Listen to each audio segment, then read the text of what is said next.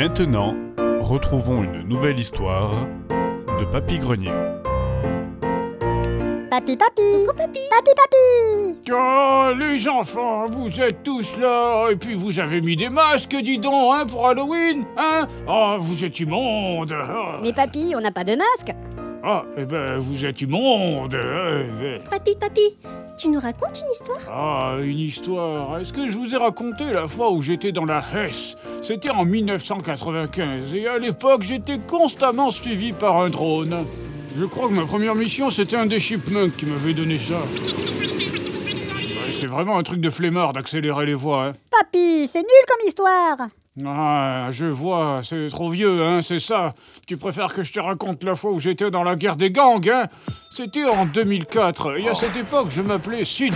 C'était le diminutif de... Euh, Bon, en fait, ça voulait dire Jean-Charles, mais je l'avais mis en verlan, parce que le verlan, c'est trop chébrant Papy, ferme ta gueule Ok.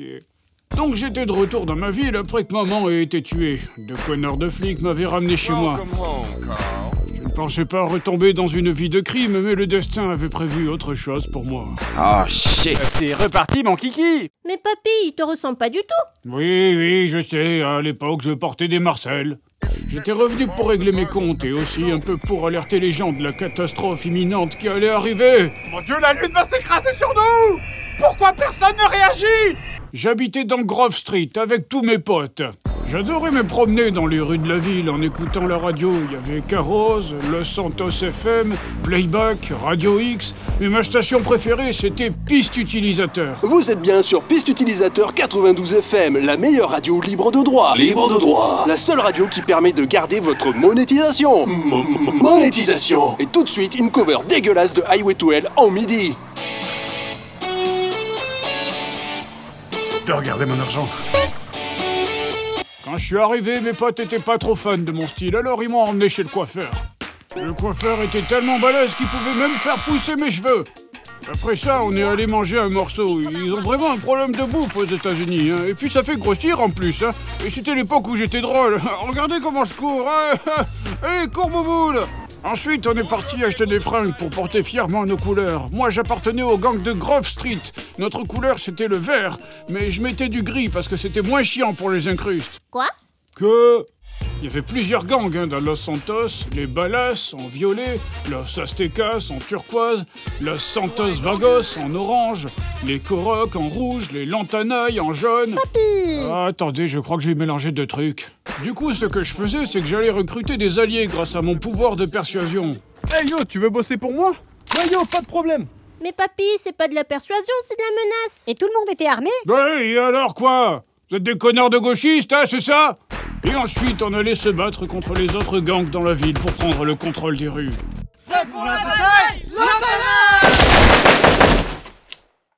Et ça t'a apporté quoi d'avoir tué ces trois personnes, papy? Ah, eh ben, du coup, euh, depuis la crêperie jusqu'à la poubelle à verre, c'était à nous Enfin, c'était pas vraiment à nous, c'était à la municipalité. Mais euh, en tout cas, il y avait que nous qu'on avait le droit d'y être Enfin, non, tout le monde pouvait passer, évidemment, on bloquait pas les rues, mais ils avaient intérêt à pas porter du jaune, hein Mais papy, c'était pas dangereux pour les gens qui habitaient là Oh, tu sais, on avait un système de santé très performant.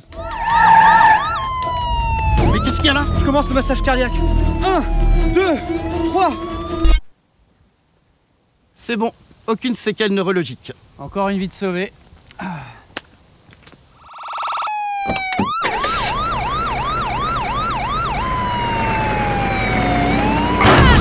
Et la police disait rien, papy Non, euh, la police était plutôt souple.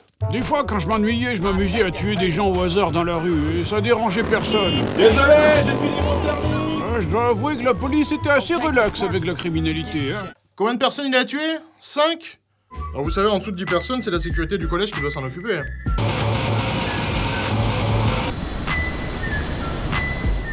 Ah non, mais je suis désolé, mais ce tank n'a rien fait de mal.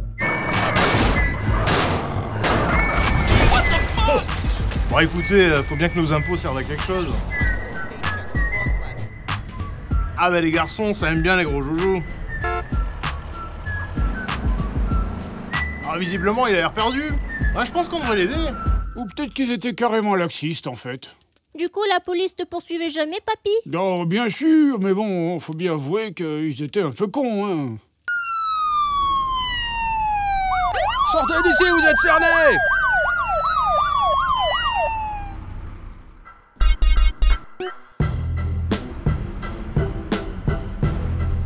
Attends, c'est pas lui Non, il avait pas de chapeau. C'est lui Du coup, tu t'es jamais fait arrêter, papy Ah, si, bien sûr, souvent même. Mais bon, à l'époque, on croyait en la réinsertion.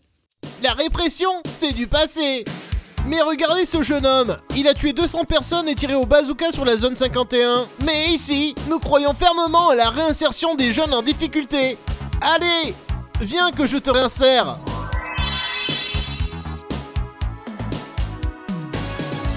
Oui, car il ne faut pas hésiter de se battre pour la jeunesse. C'est un peu notre combat à nous.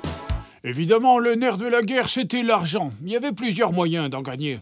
On pouvait tabasser des gens dans la rue parce qu'ils se promenaient toujours avec des centaines de billets sur eux, hein, mais bon, à cette époque, la monnaie avait été beaucoup dévaluée. Tu pouvais aussi faire des cascades en voiture, ça rapportait de l'argent.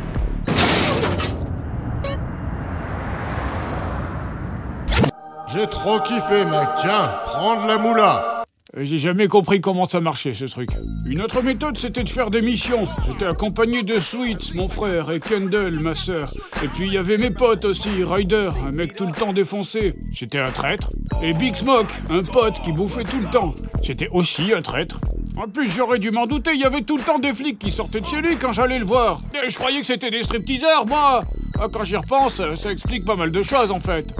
Hey yo, Big Smoke Eh, attends, mais t'as un micro caché là Yo Pas du tout, euh, il est pas caché Yo Apparemment, tu t'apprêtes à commettre un acte pénalement répréhensible. Est-ce que tu peux m'en préciser la nature, lentement et distinctement? Sur l'émission, c'était un peu difficile de s'enrichir, surtout au début parce que j'étais pas souvent payé. Mais bon, au moins, on me payait en respect. Ouais, c'était pas terrible. Ça me rappelait l'époque où j'étais graphiste. Merci, mais bon, on n'a pas trop d'argent pour vous payer ce mois-ci, donc... euh, Mais bon, ça vous fera de la visibilité au moins.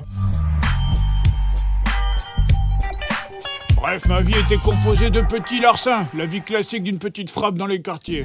Comme la fois où j'ai recouvert des tags d'un gang rival, ou la fois où on a buté des membres d'un gang rival, ou la fois où j'ai poursuivi un train en moto en tirant sur des Mexicains qui étaient perchés sur le toit. S'arrête? La fois où j'ai sauté sans parachute depuis un avion en plein ciel pour détourner un jet de la mafia. Ou la fois où j'ai désactivé un système de missiles sol-air et que j'ai volé un avion de chasse sur un bateau de l'armée pour aller couler des navires espions. Notre point fort dans les forces de l'ordre, c'est qu'on a réussi à bâtir une relation de confiance avec les jeunes de notre ville.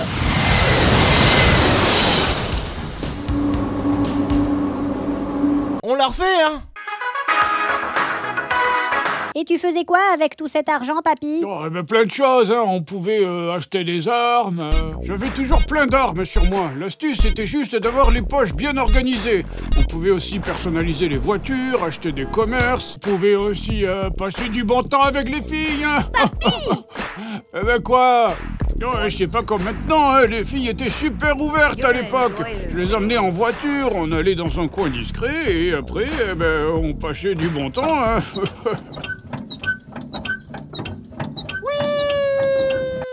Ah, Quand papy y repense, ça l'excite encore. Et après, évidemment, j'ai eu des vraies relations. hein. Je me souviens de Michel. J'allais la chercher chez elle. On faisait des longues balades tranquilles en voiture dans les rues de la ville. On allait visiter des endroits connus de San Fierro. Et en fin de soirée, je l'amenais dans des petits bars. Yo bébé, tu passes une bonne soirée?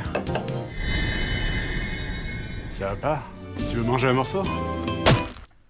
J'ai jamais eu de relation durable, je sais pas pourquoi. Et comment ça s'est fini, cette histoire, papy Eh bien, en allant voler un blindé de la police, j'ai tué 300 personnes dans un labo de drogue avant de découper mon meilleur ami à la Gatling. Après, j'ai poursuivi un camion de pompiers piloté par un flic pendant que mon frère était suspendu à la grande échelle durant une guerre civile.